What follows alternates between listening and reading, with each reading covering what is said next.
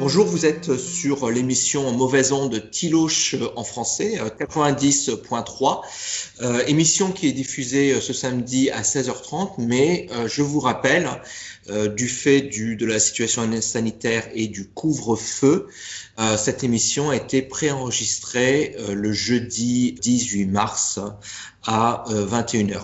Émission qui sera surtout consacrée au cinéma hongrois et en particulier au film qui a reçu des prix Natural Lights természetes fény, lumière naturelle en français. Euh, nous avons le plaisir euh, de recevoir euh, sur notre studio online Guerreux Marcel. Bonjour Guerreux. Donc Guerreux, tu es l'un des producteurs du film Natural Lights. Ravi de te recevoir sur notre plateau. Merci. Euh, nous avons euh, de nouveau euh, le plaisir de recevoir Mercedes Duquery, donc Mercedes, journaliste hongroise à l'hebdomadaire AVG. merci Mercedes d'être parmi nous. Je t'en prie, bonjour à tous. Bonjour Mercedes. De nouveau, nous avons parmi nous Daniel Pseni. Donc Daniel, tu es journaliste, anciennement journaliste au Monde et aujourd'hui tu es basé à Budapest. Bonjour à toi. Bonjour à tous. Ouais. Donc Daniel, spécialiste des médias. Euh, nous avons avec nous euh, Joël euh, Lepavou, Joël, journaliste français basé à Budapest pour euh, différents médias dont le, je cite pas tous, hein, mais le Courrier International, le quotidien belge Le Soir, Europe 1 et également Slide.fr. Euh, bonjour Joël. C'est ça Guillaume, bonjour à tous. Et nous avons également le plaisir d'avoir de nouveau sur notre plateau euh, Mathilde Housset. Euh, Mathilde, jeune journaliste euh, au journal francophone de Budapest. Euh, bonjour à toi Mathilde. Bonsoir, bonjour, merci beaucoup. Bonjour Mathilde. Euh, Fabien, Fabien euh, Yo qui nous fait les chroniques spatiales et musicales et qui nous aide également pour tout ce qui va être technologique parce que les autres on, est nuls là-dedans. Merci, salut, salut, Fabien. Bonjour à tous. Et au micro qui anime cette émission, Guillaume Carré. Euh, donc aujourd'hui nous allons parler du film euh, Natural euh, Lights. Marcel, euh, tu es l'un des producteurs de ce film. Est-ce que tu peux nous parler de quel prix a reçu ce film Est-ce que tu peux nous parler du film en général? Bonsoir à tous. Ce film Natural Light, en hongrois Természetes fény et en français Lumière naturelle, mm -hmm. a reçu le prix du meilleur réalisateur euh, à, à, Berlin. C'est l'ours euh, d'argent. D'argent, voilà, exactement. C'est un film euh, sur lequel on, on travaillait depuis 5 euh, ans, 6 ans, 5 ans. Mmh. C'était un très long procès euh, d'arriver à la fin. Et le film parle d'une histoire qui se déroule dans la Deuxième Guerre mondiale, dans la territoire de l'Union soviétique où des, des, soldats hongrois ont aidé les soldats euh, allemands sur les territoires déjà occupés. L'objectif des troupes hongrois, c'était de faire la, de trouver les partisans dans les territoires déjà euh, occupés, euh, occupés et, et de, de, créer la, la, paix entre les, les, les habitants civiliens. -hmm. Et et ce qu'il faisait euh, en complétant cette, cette mission, c'était que, et, et c'est un fait euh, historique, que les, les, soldats hongrois ont commis des, des terreurs qui n'étaient jamais mentionnées dans, dans l'histoire hongroise. Euh, le, film, le film choisit un point de vue très personnel et, très psychologique euh, et trouve un, un, personnage principal qui se trouve très difficilement dans cette situation, qui n'est pas du tout à l'aise de faire ce qu'il doit faire et de son difficulté euh, dans cette situation. L'histoire se déroule euh, dans trois jours et voilà. D'accord. Très court. Ben, Marcel, c'est un sujet à la base assez difficile. Le, le, le thème de ce film a, euh, contredit un petit peu euh, euh, comment dire, euh, les thèses du Fidesz, hein, le, le, Fidesz qui, qui présente euh, le, le, rôle de la Hongrie euh, uniquement comme euh, pays occupé par les Allemands, totalement passif, etc. Donc si je comprends bien, dans ce film, on remet quand même un peu en question le, le, rôle de la Hongrie pendant la Seconde Guerre mondiale. Est-ce que c'est quelque chose un petit peu tendu en Hongrie de parler de ça? Un tout petit peu oui, mais en fait, le film, l'idée originale du film, c'est pas euh, de parler de ces faits euh, historiques, mais c'est beaucoup mmh. plus euh, de parler de la part psychologique de, mmh. de, toute cette histoire, de parler de quelque chose de beaucoup plus général, de ne pas se concentrer sur des, sur des euh, faits historiques, mais beaucoup plus concentré sur ce qui se passe euh, dans l'intérieur de, de l'âme de quelqu'un qui se trouve dans une situation tellement cruelle. Très bien. Euh, Mercedes? Oui, merci. Malheureusement, j'ai pas vu le film. Je sais pas, je sais pas quand, quand est-ce que je peux, je peux le voir parce que j'ai entendu que, que la présentation c'est quand les cinémas seront ouverts. Mais j'ai lu le roman euh, dont le, dont la base est. C'est sur lequel est basé le film. Oui, oui qui, est, qui, qui, est le, qui, est le, qui est la base pour, pour le film. Euh, donc le roman c'est je pense que c'est un, c'est un roman vraiment important pour, euh, pour les Hongrois, même si on ne connaît pas tellement. Parce que raconte, le roman raconte les histoires, des petites histoires de, des Hongrois et des minorités hongroises euh, au XXe siècle. Et ma question, c'est pourquoi le titre euh, lumière naturelle? Parce que, pour le roman, c'est naturel parce qu'il s'agit d'un photographe, d'une famille de, des photographes. Mais comme je, je t'entends, c'est, cette partie n'est pas dans le, dans le film. En fait, le protagoniste, euh, on a gardé un tout petit peu cette, euh, cette partie dont tu parles.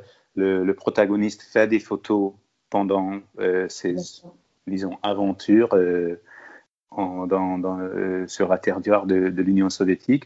Mais vraiment, mais, mais, mais tu as raison, l'importance de ce euh, petit motif, euh, c'est beaucoup moins important que dans le roman. Le roman a le même titre, c'est le roman de, de, l'auteur, euh, de l'écrivain très connu et très, très accepté, Paz Avoda. Il est, il est un des plus importants euh, écrivains contemporains hongrois. Mais le roman parle d'une histoire de, je ne sais pas, six ou sept personnes au cours de 20 ans, tandis que le film euh, parle de uniquement un seul personnage, euh, un seul protagoniste euh, et uniquement trois jours de, son, de sa vie. Alors, il y a une vraie, vraie, vraie différence entre les deux.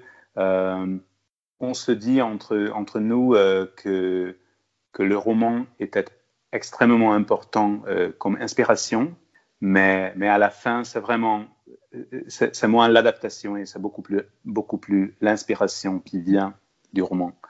Le titre, quand même, c'est très important pour nous aussi, pas seulement à cause du, euh, du roman, mais à cause aussi du fait que on a essayé d'éviter toutes sortes de, de mise en scène. On a essayé de trouver euh, une façon de présenter l'histoire euh, la façon la plus naturelle possible de trouver les, les, personnages, de trouver des acteurs naturels, de trouver la lumière naturelle, de trouver d'une façon de, je ne sais pas si ça existe en français, racontation. Narration. Narration. Narration. D'une narration le plus naturelle possible, de pousser le moins à travers des images, le moins d'idées à travers des images, et de laisser le spectateur euh, réfléchir mmh. au cours de, de, de, voir le film. Alors, euh, tu as raison, la raison pour laquelle euh, le roman a reçu le, le titre Lumière naturelle vient d'un point, point de départ un peu différent que de chez nous, mais l'importance, c'est la même. Très bien, très très bien.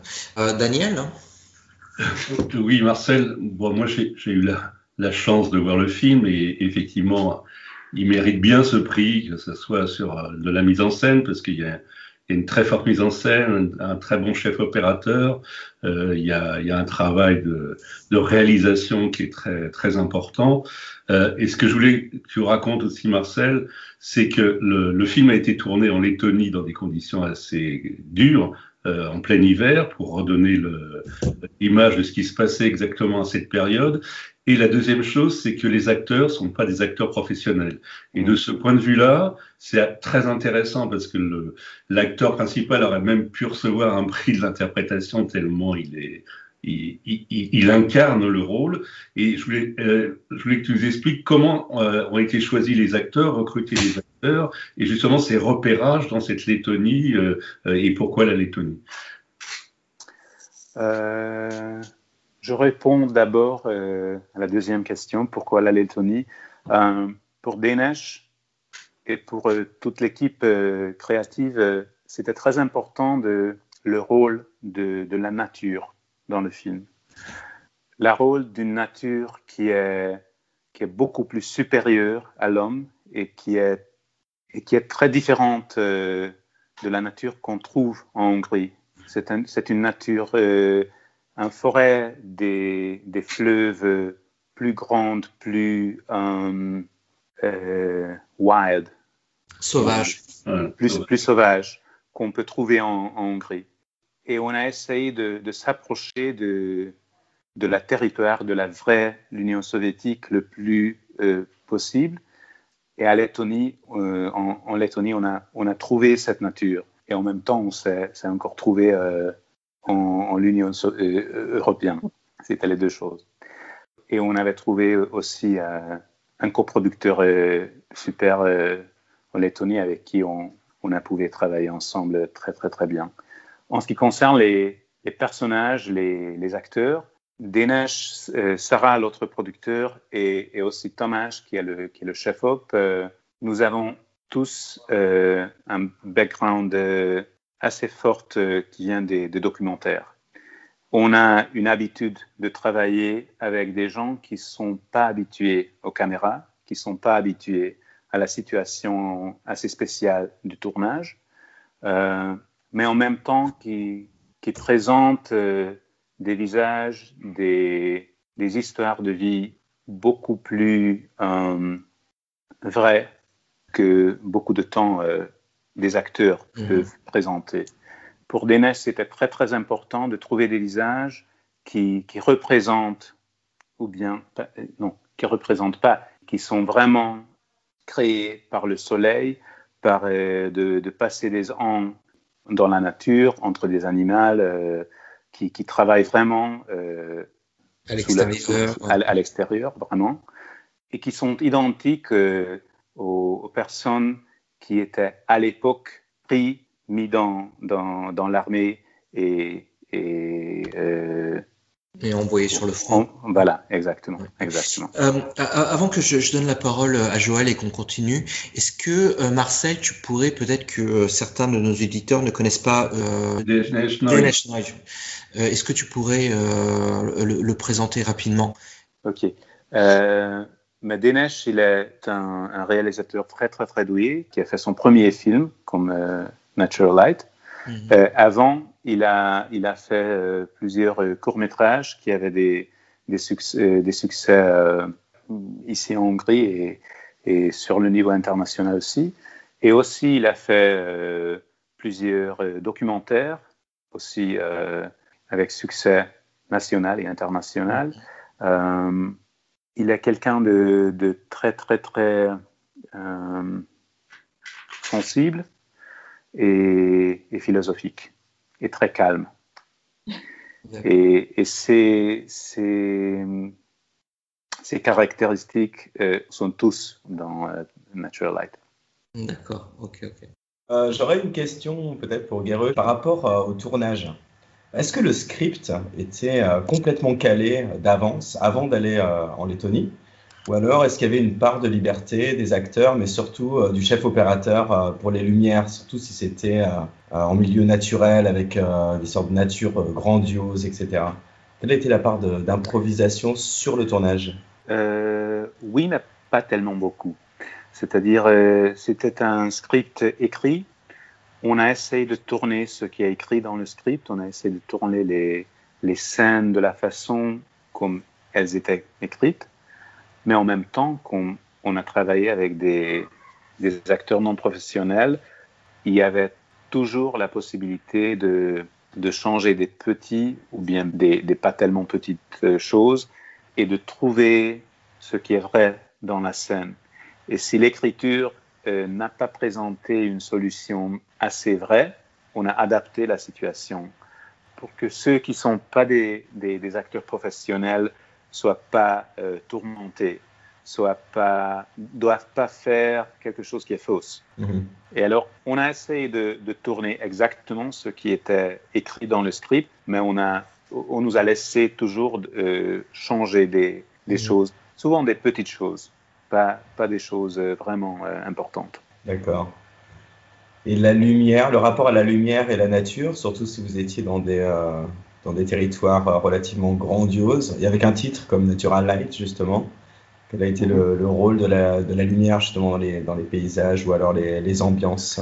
Oui, euh, ce qui est très important, c'est que Denash et Thomas ils travaillent ensemble depuis des années, depuis l'école, ça veut dire depuis 15 ans. Et Thomas est d'origine photographe, qui préfèrent en général de ne pas utiliser des, lumières euh, artistiques, mhm. qui, qui, essaient toujours d'utiliser la, lumière naturelle. Et le film, le sujet, l'histoire et, l'approche artistique euh, étaient exactement la même chose. C'est-à-dire ici, euh, son style est identique à la volonté artistique de Denesh et, de soi-même. D'accord. On avait tellement peu de, de lumière artificielle que c'est presque inimaginable pour un tournage. On avait cinq ou six lampes et c'est tout. Il y avait des tournages de nuit? Voilà, et il y avait deux ou trois jours quand on a demandé des, des lampes euh, dures, grandes.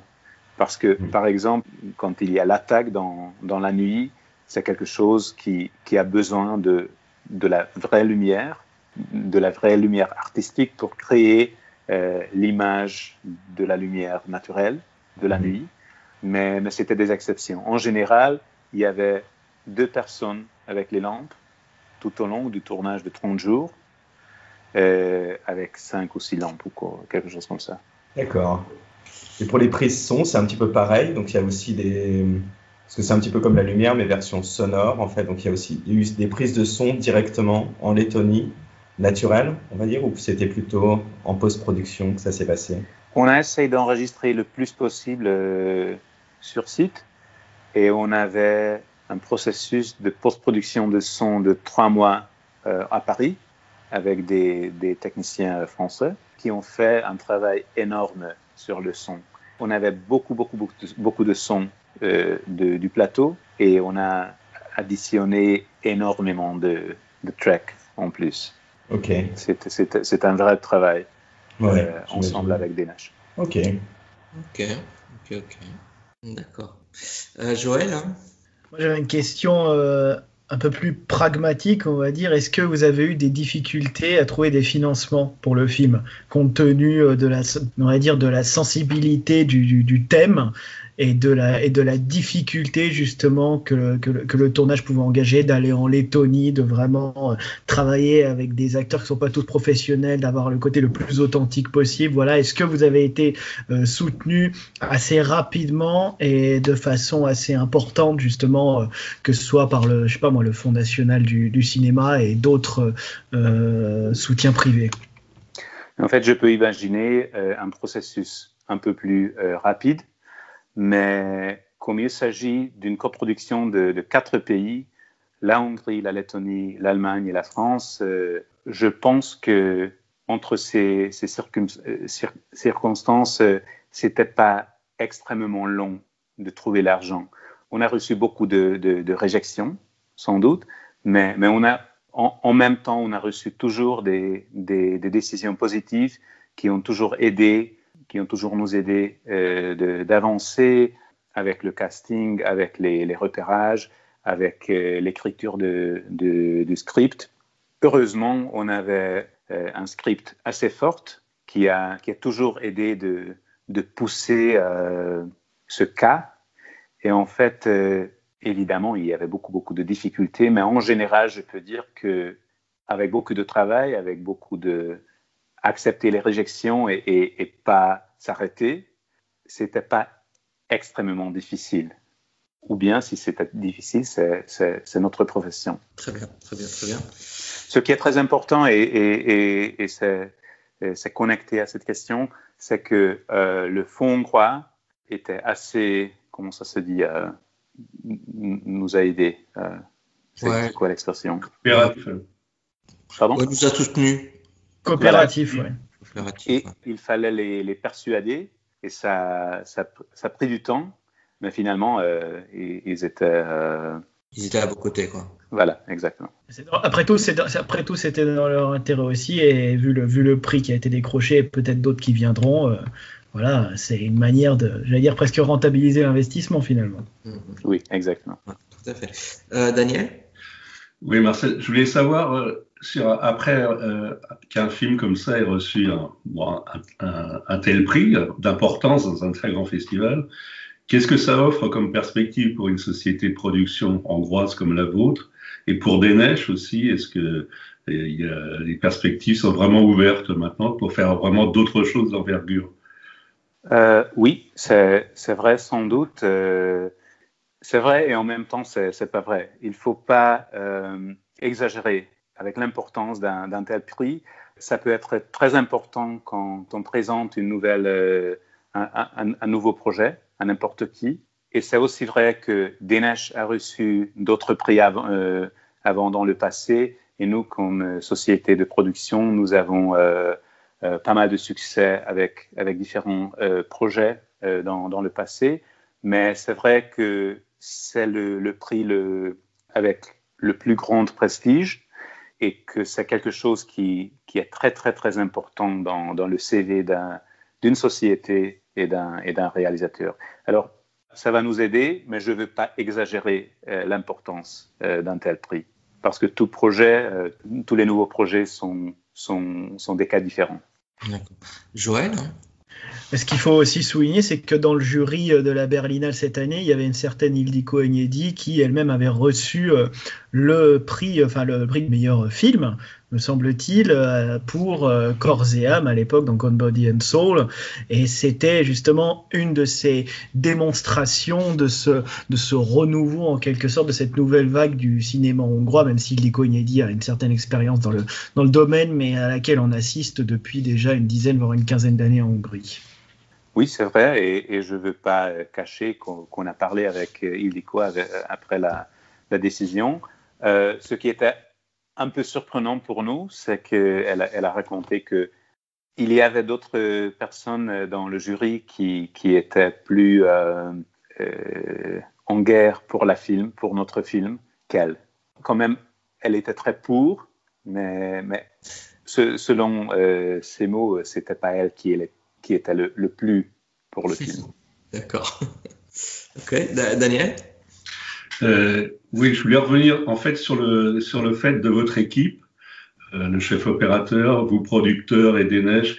Vous avez tous été formés à la SFE il y a, il y a de nombreuses années, et donc euh, le produit des films, c'est de votre euh, vos cours, enfin votre théorie à, à la SFE. Qu'est-ce que tu penses là maintenant du fait que la SFE soit démantelée euh, comme, euh, comme elle a été commencée en septembre et que euh, tout, toute cette école de la transmission du savoir euh, soit complètement euh, détruite euh, pour, de, pour des raisons politiques finalement? Mais c'est une histoire extrêmement triste, spécialement parce que oui, c'est vrai qu'on était camarades de classe à, à SFE à l'époque. Euh, et depuis qu'on a fini l'école, euh, on travaille beaucoup, beaucoup, beaucoup ensemble avec le chef op euh, Tomasz, avec Denesh et, avec Sarah, on, mène une société depuis plus que dix ans. alors c'est une équipe qui, se travaille d'une façon très, très, très proche et, et, c'est ce sont pas seulement des relations professionnelles, mais même plus important, euh, ce sont des relations euh, amic amicales. Euh, mais ces relations sont nées à SFR. Le, processus qui, se passe avec, avec notre école depuis septembre, c'est quelque chose de vraiment triste pour nous tous.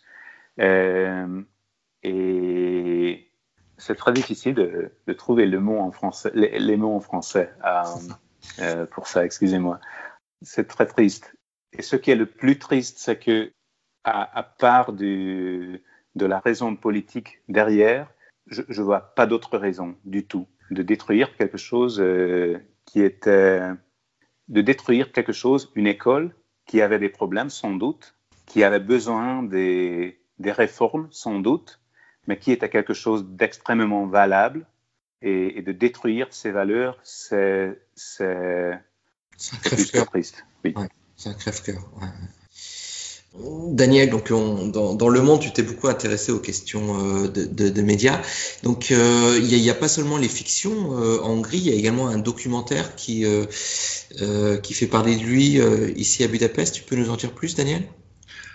Oui, c'est un documentaire qui a été réalisé par deux réalisatrices, qui est toujours produit par Campfilm. Je m'excuse, c'est le télescopage.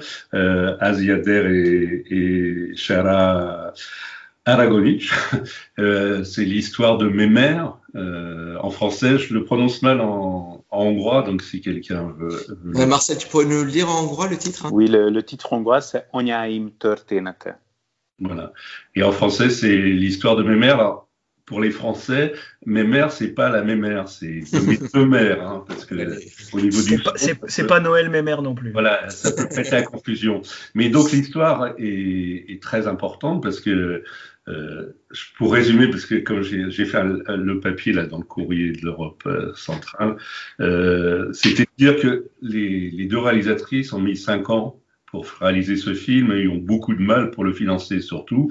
Et donc c'est l'histoire de, deux d'un couple homosexuel euh, femme euh, qui cherche à adopter un enfant euh, et qui tombe dans la Hongrie de, très réactionnaire par rapport à ce, sujet et donc de tous les propos qui sont tenus sur le fait de la famille.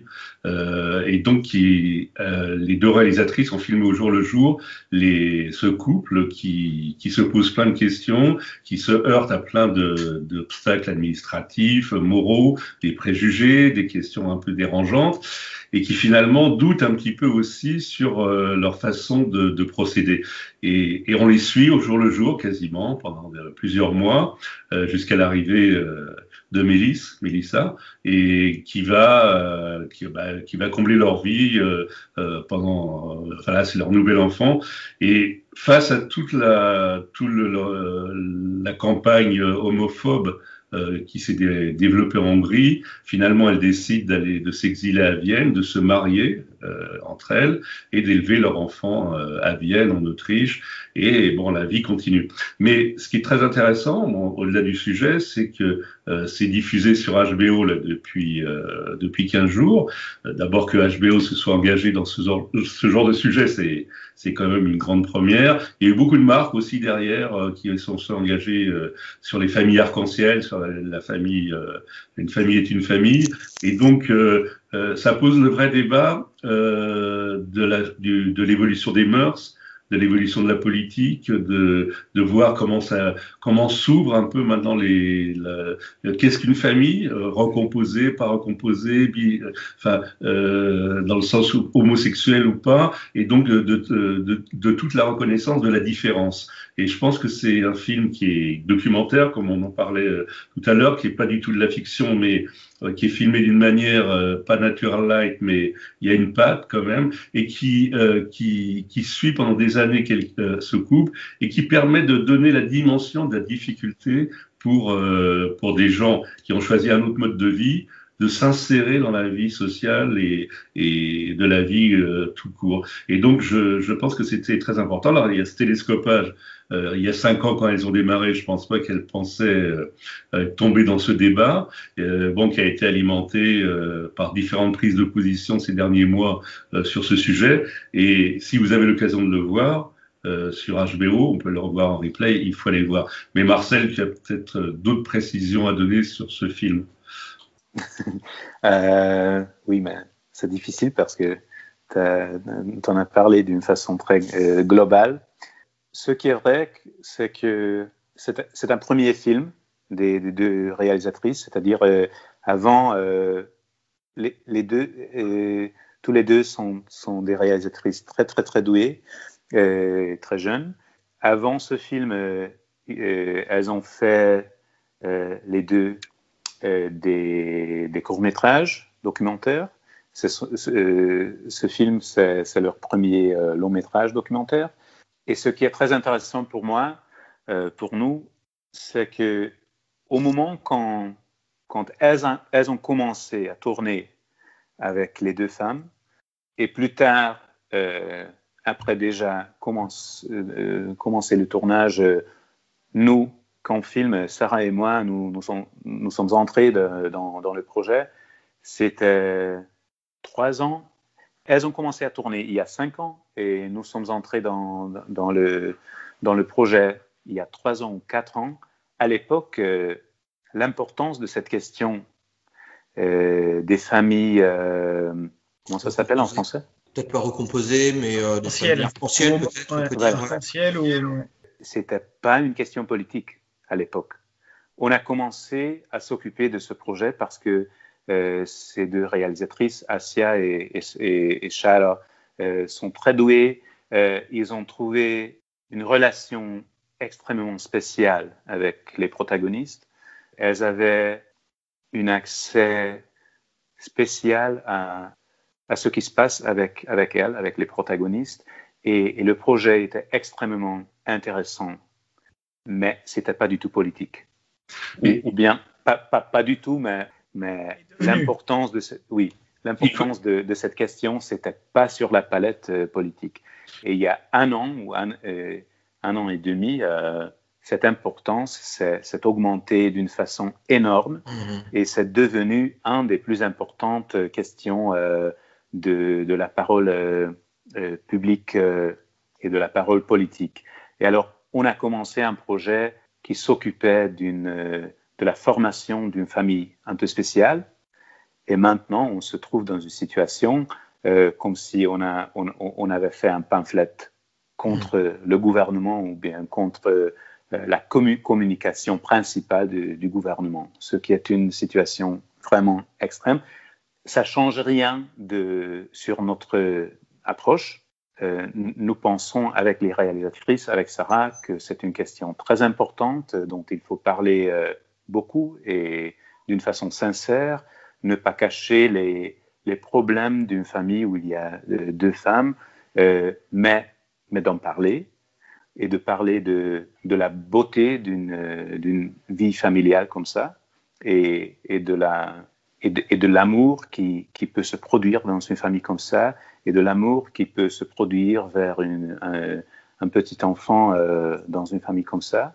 Ce sont des questions euh, fondamentales de, de, notre âge, mais en même temps, euh, aujourd'hui, ce sont des questions politiques aussi, dont on ne voulait pas parler, mais aujourd'hui, on ne peut pas éviter d'en parler aussi. Très bien. Euh, Joël? Oui, euh, ben comme tu le disais, euh, Marcel, euh, les réalisatrices, en fait, à la base, effectivement, elles l'ont dit à, à Havegué, euh, elles voulaient pas, elles n'ont pas pensé à ce film-là comme un, comme un pamphlet, comme un brûlot politique. Hein. Elles disaient bien, voilà, nous sommes des cinéastes, nous nous battre pour cette cause avec nos propres moyens, mais nous n'avons pas réalisé ce film pour obtenir que la loi, euh, par exemple cette fameuse loi justement de décembre, voilà, qui se télescope avec la sortie du film. Donc cette loi qui prive de facto les couples de même sexe euh, de droit à l'adoption en Hongrie et qui euh, euh, définit la famille comme une entité composée d'un homme et d'une femme, voilà, euh, d'un père qui est un homme et d'une mère qui est une femme, pardon. Euh, voilà, ce film, voilà, la sortie se télescope avec, avec, la loi, mais ça n'a pas été réalisé spécifiquement pour s'opposer ou en tout cas pour essayer de faire changer la loi. Et comme tu le disais, Marcel, l'important c'est surtout de montrer comment se constitue cette famille arc-en-ciel, comment justement elles affrontent au fur et à mesure les difficultés euh, qu'elles soient administratives, qu'elles soient au sein de leur entourage, le fait qu'elles n'ont pas d'acceptation euh, partout euh, justement de, leur choix de vie et euh, le, dénouement justement quelque peu un petit peu tragique de cette histoire finalement puisque les, deux femmes se réalisent ou en tout cas pensent qu'elles ne peuvent pas élever leur enfant dans les meilleures conditions en Hongrie, en toute sécurité, et préfèrent partir justement en, Autriche où leur choix de vie est mieux accepté. Oui, absolument. Et je voulais juste préciser aussi, c'est que le, une des deux protagonistes est une ancienne députée écologiste euh, qui avait mené une bataille, euh, une longue bataille euh, au Parlement et qui a laissé tomber la politique, ce qui n'a rien à voir avec son, son, choix de vie. Mais cette continuité est assez intéressante dans la narration du documentaire, je pense. Oui, c'était vraiment l'approche originale, c'était vraiment de, parler de la formation d'une famille qui n'est pas vraiment différente de la formation d'une famille plus traditionnelle, où euh, la mère est une femme et la père est un homme.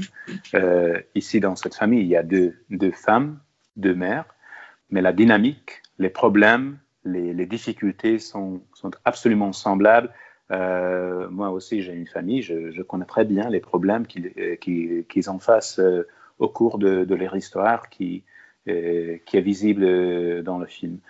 Dès le début, on a pensé que, des, des petite euh, archive politique des paroles euh, des personnages politiques sont importants, mais pas pour des raisons politiques, mais pour de montrer l'entourage de cette histoire.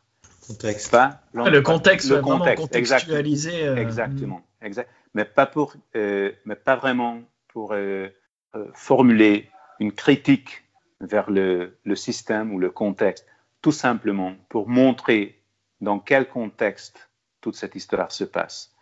Et maintenant, dans, dans la situation euh, euh, présente, ces, ces archives euh, politiques, des paroles des politiciens, sont devenues beaucoup, beaucoup plus importantes qu'on a pensé avant. Très, très, très bien. Euh, Joël, en, plus de, ces deux films dont nous voulons parler, euh, on peut dire que Budapest est en train de connaître, euh, comme on disait, une espèce d'âge d'or. Hein, je passe un peu du coq à l'âne. Mais on, disait ça en plaisantant cet après-midi. Budapest devient le Hollywood sur Danube. tu peux nous en dire plus de ça? C'est un peu ça. Bon, ça fait, ça fait, ça fait déjà euh, 30 ans en fait, mais c'est un phénomène qui n'a fait que, que, s'accélérer au, au, fur et à mesure des années et surtout depuis, euh, de, depuis 2010, on va dire par là. Euh, faut quand même rappeler par exemple que euh, déjà en 88, euh, Schwarzenegger tournait double détente, par exemple, dans une Budapest qui était transformée en Moscou. Euh, 25 ans plus tard, on avait Bruce Willis qui tournait Die Hard 5, euh, enfin, ou 20, ouais, 22, 23 ans plus tard, qui tournait Die Hard 5, pareil, dans Budapest, ressemblant à Moscou. Budapest, elle a, elle a, été transformée en à peu près toutes les grandes métropoles mondiales, que ce soit Paris dans Belle Amie avec, avec Robert Pattinson, que ce soit New York euh, dans la série The Alienist avec euh, Daniel Brühl. Euh, elle a même été transformée en Bosnie-Herzégovine, en Sarajevo, par Angelina Jolie qui a tourné au pays du sang et du miel. Donc voilà, Budapest. Pardon? Spielberg aussi. Et Spielberg, euh, oui, euh, qui a tourné Munich aussi, oui. voilà, euh, qui a tourné Munich et qui disait même que voilà, Budapest a de, a de multiples visages et est capable de reproduire visuellement quasiment l'ensemble des métropoles internationales. et bon, alors c'est vrai que cette espèce de caractère un peu caméléon de Budapest, elle le doit à sa richesse architecturale, bien sûr, mais elle doit aussi le fait d'accueillir autant de tournages et autant de grands du cinéma euh, à euh, un, un, système, un système de, de, de studio qui s'est développé au fur et à mesure. Je pense notamment au studio Origo à Budapest, je pense au studio d'Etiek qui ont été implantés plus récemment à une trentaine de kilomètres de Budapest au beau milieu d'une région viticole.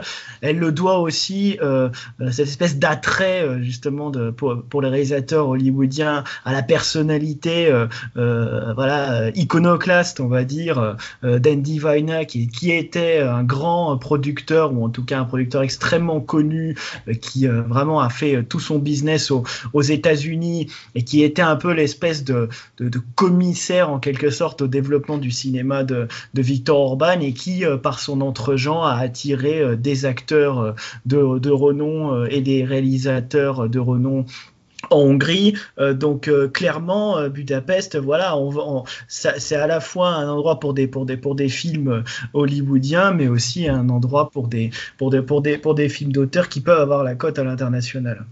Comment on explique ce, succès de euh, pourquoi Budapest, pourquoi pas Prague ou euh, une autre ville? C'est que l'architecture ou euh, peut-on y voir d'autres raisons? Il y a des raisons économiques aussi. Bah, c'est ça, oui. Il y a des raisons économiques. Des taxes beaucoup élevées en Hongrie quoi, pour, les, pour les tournages. Bah, il y a un système d'incitation fiscale euh, clairement évident euh, qui a même failli attirer à l'époque euh, Luc Besson parce que Luc Besson il voulait tourner Valérian à, Budapest et en fait il a été retenu par la ministre de la Culture de l'époque Fleur Pellerin qui avait trouvé en quelque sorte un arrangement il avait promis que les taxes justement pour tourner en France ne seraient pas aussi élevées qu'elles l'étaient à l'époque. Donc il y a un argument non seulement économique, mais aussi un argument professionnel. Il faut quand même souligner que à Budapest, euh, en Hongrie de manière générale, mais surtout à Budapest, il y a des équipes extrêmement compétentes qui sont reconnues pour leur pour leur pour leur, leur professionnalisme.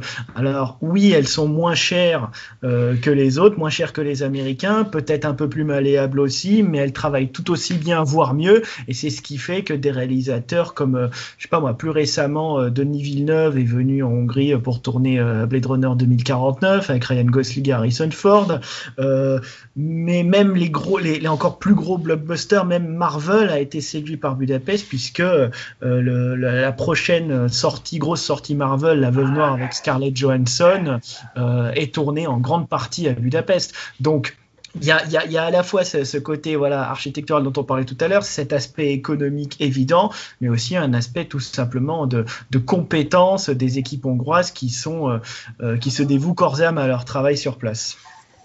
Non, mais il faut dire que quand, quand tu demandes pourquoi pas Prague, euh, Prague est, aussi euh, un centre de ces productions de services, c'est-à-dire des productions qui viennent de l'étranger et qui, mmh. qui tournent là-bas qui est euh, servi par des techniciens euh, tchèques. Prague est aussi un, centre euh, vraiment important, ou bien c'était il y a quelques années, et, lentement l'accent s'est posé plus, et plus à, Budapest, parce que les films ici mentionnés sont seulement les films les, les, plus connus, les plus fameux, mais il y en a beaucoup, beaucoup, beaucoup plus d'autres, euh, des, des, des, projets beaucoup plus petits ou bien des séries et, des choses comme ça qui se tournent aussi euh, sans arrêt depuis des années euh, à Budapest. Et, c'est un, un, processus qui se reproduit, c'est-à-dire à cause du fait qu'il y a beaucoup, beaucoup, beaucoup de, de production de services qui vient en Hongrie pour des raisons économiques, pour des raisons d'architecture, créer l'ensemble des techniciens euh, qui, sont, qui sont formés d'une façon très, très, très haut, qui attirent des nouveaux projets. Et alors, tout ça, c'est, comment ça s'appelle, euh, le serpent euh, qui, qui se... C'est le serpent, qui, se mord la queue. Voilà, exactement. Très bien, très bien. Euh, donc Daniel, euh, Budapest est une ville qui attire euh, aujourd'hui les, les, cinéastes du monde entier. Euh, tu peux nous parler des grands succès du cinéma hongrois actuel hein?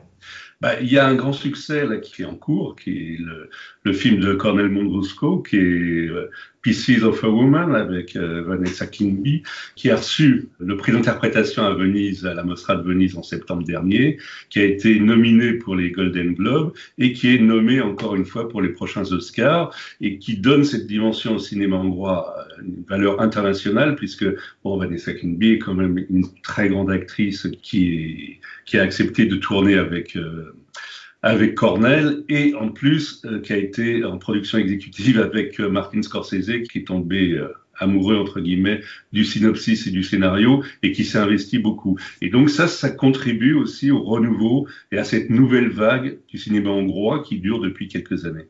Très bien. Euh, Joël, le mot de la fin? Oui, puis au-delà de la, figure, enfin Mundruzzo, euh, avant même Pieces of a Woman, avait déjà reçu un, prix à, Cannes pour euh, White God en, en 2014, hein, un prix, euh, je crois, de la critique, me semble-t-il.